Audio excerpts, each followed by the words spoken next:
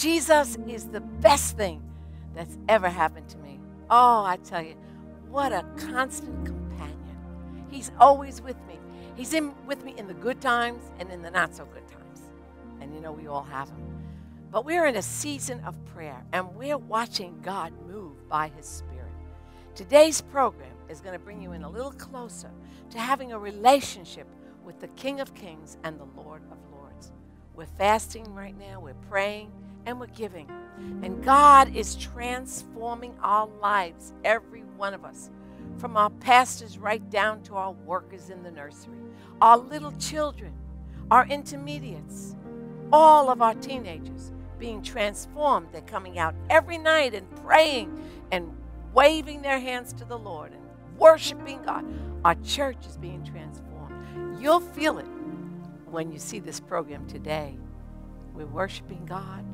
We're having such a great time of, of ministering one to another, and we're feeling the blessing of the Lord. You need a blessing?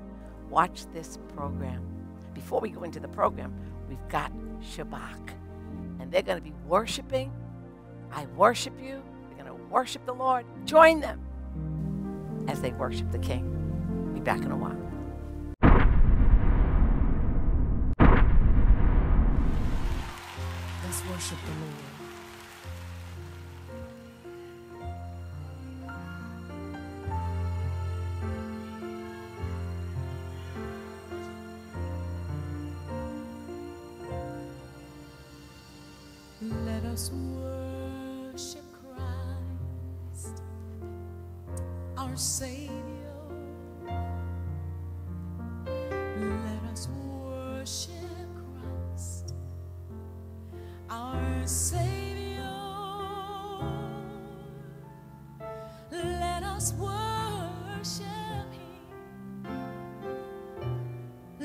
Us worship Him. Let us worship Christ the Lord.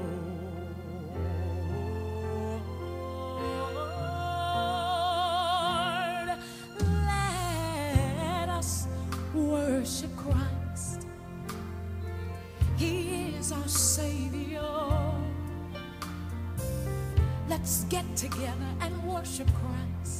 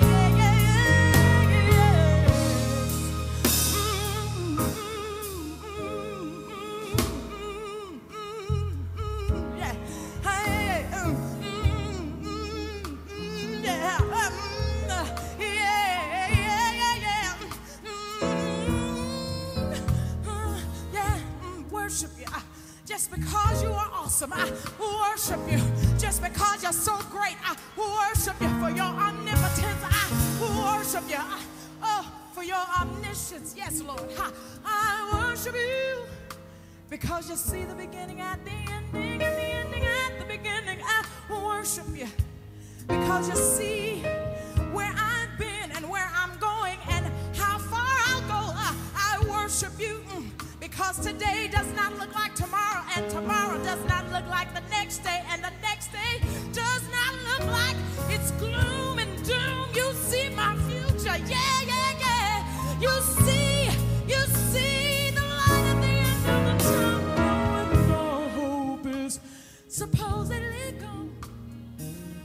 still worship you.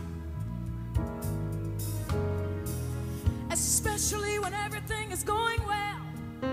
Uh, I worship because it didn't have to be like that, Lord. I worship you. Uh, yes, Lord.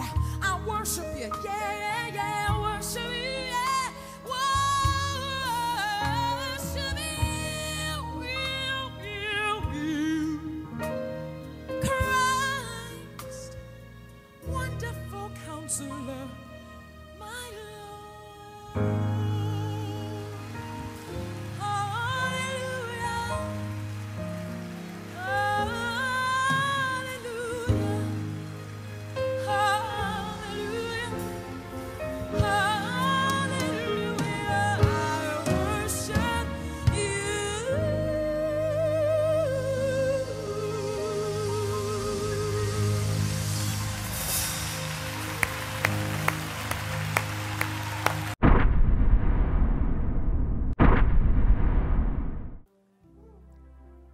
Been tough.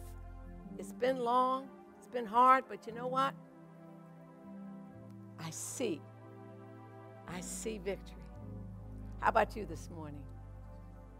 Such a beautiful incense of worship that has gone up today. Your worship. Your worship is very, very important. It's an incense up into the nostrils of God. I was reading this week about how the thousands upon thousands of sacrifices that went up before the Lord on the Day of Atonement. How many know the Day of Atonement is a holiday that comes once a year, even today. They don't observe it the way they did in the Old Testament. But you talk about thousands upon thousands of animals being slaughtered, cut up, and placed up on this great altar. Now, if you will allow your imagination to consider this, these priests had a bloody, disgusting job. They were dealing with blood. If you could think about it, they had blood all over them, blood all over their hands, blood, blood, blood. But there were those that brought incense, frankincense, and myrrh.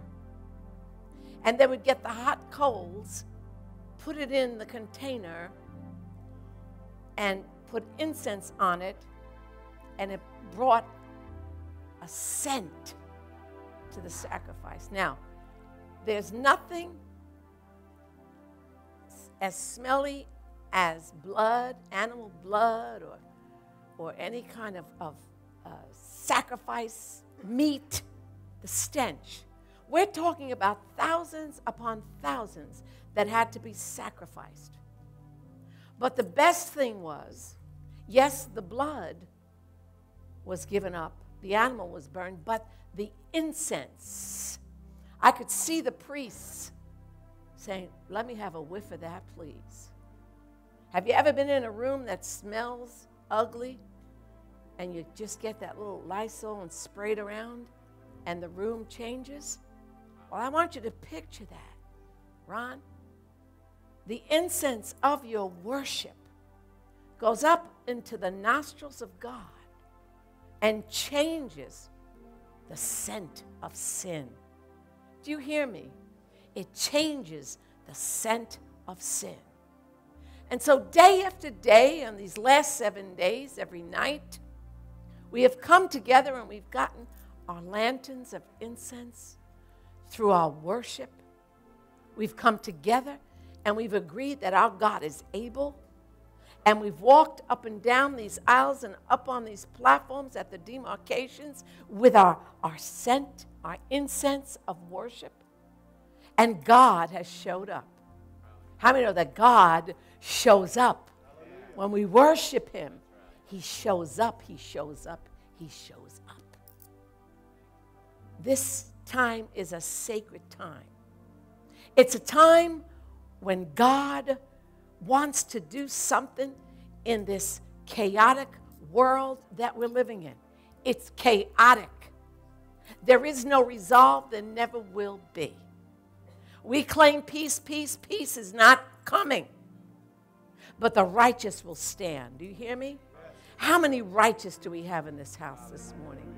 We stand in his righteousness. And we will stand, though bombs and rockets, I showed you two weeks ago what the children of Israel are raised to do. When they hear the rockets and they deal with it every single day, those teachers gave them a song, boom, boom, boom. How many remember that song? They're teaching the children. This is our atmosphere now. When you hear it, don't fear. Boom, boom, boom. We'll go under the desk. You're going to be all right. There's no guarantee that they're going to be all right outside of God. But they get them distracted with the rockets. How would you like, parents, as you send your kids to school this week, to think that rockets might take down their school? That's what they live with every day. And it's the effectual, fervent prayer of we people here who believe in Israel that are praying and guarding and bringing confusion to the camp of the enemy. Do you believe that? I believe my prayer is bringing confusion to the camp of the enemy. And every night we pray for Israel. Hallelujah. Now, you have to understand that the church was praying. Like we've prayed here every night. We've come together. Beautiful turnout. Coming here, praying, demarcations, touching those little sheets that you filled out for your prayer needs. Somebody's praying for you. If you put in a request, somebody's praying for you every night from 7 to 8. So they prayed and prayed and prayed, and all of a sudden, Peter knocks on the door where they were praying. And Rhoda answered. And she didn't open the door. She ran back. She was astounded that they let him go. Has anything changed today? Astounded. We pray and we pray, and when it happens, what happens to us? We're astounded. And what does the Holy Spirit say? Well, I have a, a, a request here. Isn't this what you asked for? Well, I've given it to you. Do you understand? Praying brings results. Say, praying brings results. Each and every time. Jesus Christ has not changed. He has not grown old, and neither is his power waning. He is the same yesterday, today, Say it. Yesterday. today, and forever. Say it again. Yesterday, today. Isaiah 45 28. I want us to read this together, all of us. Isaiah 45 28. Hallelujah. Do you not know? Have you not heard? The Lord is the everlasting God, the creator of the ends of the earth. He will not grow tired or weary. That came from the mouth of the prophet. You've got to know it beyond a shadow of a doubt that your God is able. My God is able. You're dealing with a surmountable, some of you, such a surmountable uh, job before you. You've got things you've got to take care of on this side of your life and this side of your life. You've got to start declaring right in the furnace, as the three Hebrew boys did My God is able. My God is able. Say it.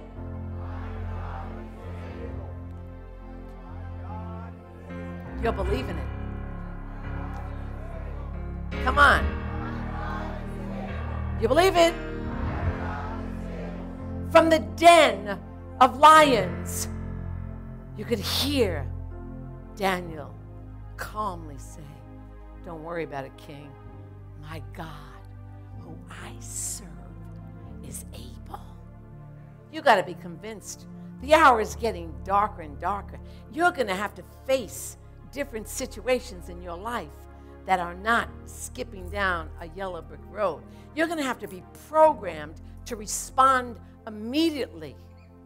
I know my God is able. I know my God is able. I know my God. How do you know your God is able? Because you have a testimony under your arm. How many have been delivered by the power of God? How many have been saved and sanctified by the blood of Jesus Christ? How many of you have been healed by the might and power of Jesus? Well, that gives you the right, the justification to say, I know my God is able. Tell your neighbor on your right, I know. Tell the one on your left, I know, I know, I know, I know, I know, I know, I know, I know. I know, I know, I know. Ephesians 3:20 tells us. Ephesians 3:20 tells us. Now to him who is able to do exceedingly abundantly above all that we ask or think, according to the power that works in us. Come on. Now to him who is able. What are we saying here? My God is able to do exceedingly above what I'm asking for. Not just what I'm asking for, but exceedingly above what I'm. How many are ready for the exceedingly above? Well, God's promised us right now in this 14 day fast, I'm ready to do exceedingly above what you've got written on that paper. That miracle, I want to tell somebody, is a piece of cake from mighty God. He wants to do exceedingly above what you've written on that piece of paper. Now, listen, don't just agree with me this morning. Oh, yes, Pastor. Own it! This is mine. I'm assured that my God is going to complete the work that He began. I own this. You can't. It's too late for you to tell me I'm not going to make it. I'm making it. It's too late for you to tell me He doesn't heal. He healed me. It's too late for you to tell me I'll never get back up on the horse again. I'm riding, honey. I'm riding. Do you understand that? I own that promise. You got to own the promise of God that you will succeed. You will flourish above and beyond what you could ask of. Is there anybody that owns that beside me? Somebody has to own it. Come on, take it. Own it. Say, I own that today. God is able in Jesus' name. Now, God will not change his mind concerning this church. His promise is immutable, it's firmly established. Listen, I was taught by a matriarch of the faith who had non wavering faith in a God who performed every time she prayed. I saw her. I watched. I was trained. See, before the word mentored came up, I was mentored. Didn't even know that word existed. But my grandmother put me under her arms and taught me in every circumstance. Didn't matter where we were. She'd say, Let's pray. We would pray and God would move. Every time, Otis, every time. Eh, I don't remember one time that God did not answer Nana's prayer. She was hooked in. And what she was hooked into, I was drawing from. Malachi 3 6 says, I am the Lord and I do not change. That means what was sin last year is still sin today. That means what is grace last year is still grace today. It's time for you to stop making wishes and stop making declarations and start appealing to all of heaven. Now, the difference is you become a prayer warrior. My grandmother was a warrior in prayer, which means she never took no for an answer. You had a need, it was done. Whatever the outcome was, sometimes it was not the way the script you wrote the script, but God always prevailed. In this hour of this church, we are looking for prayer warriors who are convinced that He's an omnipotent God and He has the ability to do anything that lines up with His will. You refuse, you refuse to doubt. Refuse. I thank God that I know a handful of people that I can earnestly say, Would you agree with me? And they will give me 10 sentences after that on how it's going to happen. Do you have friends like that? Or do you have folks that say, Oh, I'll pray for you? But I don't know. You know, Joe up the block, he lost his house. I don't know if that's going to happen to you. Say, talk to the hand, I'm out of your company. You line up with somebody, you want to get a definite poise of faith, you talk to Pastor John Corden. That man came in town with a positive outlook and faith for this church, came up with strategies and matrices that brought us to the next level. You talk to him, keep saying, It's going to happen. You're going to see. It's going to happen. Is that not so, Pastor John? A man of deep faith. Now, how did he come to be a man of deep faith? He's gone through the uglies. Anybody here gone through the uglies? Gone through the pain of a divorce? Gone through the pain of fighting cancer? Gone through the pain of falling off a roof and breaking his back in five places? Got rods going out his head and his ears and but you talk to him, you'll never hear about the rods. You'll never hear about the cancer.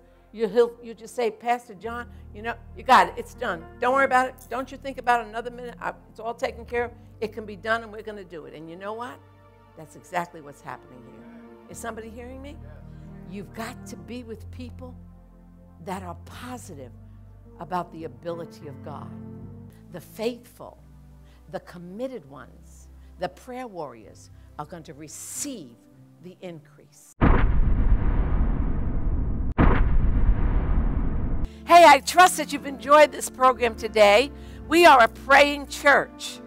Everybody's involved in prayer with the little ones and the, and the middle school, our high schoolers, our college students. Everybody is involved with prayer in this church. And these folks have been involved in prayer, and they are just embarking on a brand new term, a brand new year at their schools. And we are we prayed this morning that they would be protected, that they would be covered in the blood of Jesus, that angels of God be around them. And they have a, a wish list too. They want to see something exceptional happening in their lives this season. So tell me, what is it that you want to have happen this year in school? Um, more kids being saved. More kids being saved. How's that going to happen? Just going to show the light of Jesus through you? Okay, good. Part of Shabach. And you, Sam, tell me. From kids stop like being bullied in, in the hallways, get into class on time. Amen. You want to see the kids stop being bullies. Well, I'll tell you, Sam, with you, the size of you, I don't think those bullies are going to mess around with you. You, you are. You are a good looking, tough, big guy. I'd want to be your friend. Thank you. I'd want to be, wouldn't you want to be his friend in school? Yes. Good. Well, you shine with Jesus in you, and these, they'll get out of your way. And what about you, Rachel? What are you looking for this year? good grades and just an opportunity to encourage someone who's feeling down. It's just simple words to just encourage people, Wonderful, wonderful. Because kids really feel they feel down sometimes. They, especially in something- college. in college. Home life, Mhm. you know, home life is sometimes it's not so good, and you get an opportunity to bring life to them. What about you, sweet thing? I'm looking to excel. Excel, yeah, study. Mhm. Nothing just happens, does it? Right. We we're so excited that our kids are being trained. These are the Shadrach, Meshach, and Abednego's of this church. These are the our excellence. We're sending our excellence out into the world, and we've prompted them and told them what they how they should live and no compromise and and we're just so proud of them. And we pray for your children too, that you would teach them. The Word of God says, train up a child in the way he should go, and when they're older, they will not depart from it. So your children, you need to cover in the blood of Jesus every day, pray on them, pray on their clothing, pray on their, their backpacks, pray on them. God will take you seriously. This is a season of prayer for this church, and we're seeing a great harvest. Now, if you would like prayer and you want us to pray for you here, just call the number on your screen, call right now, and we have prayer counselors that would be glad to pray with you and bring your request into the sanctuary because when we pray at night, we're going to pray for you. It's so good to be in your house every week at 2 o'clock on Sundays. We love bringing this message to you. We trust you've been enjoying it. If you want a copy of the entire service, you only saw a little part, just call the number on your screen and we will send you absolutely free the CD and the DVD because a lot of supernatural things happen in this church that we don't always have on film. It'll increase your faith. God bless you. Until we see you again, be blessed, highly favored, and empowered to prosper.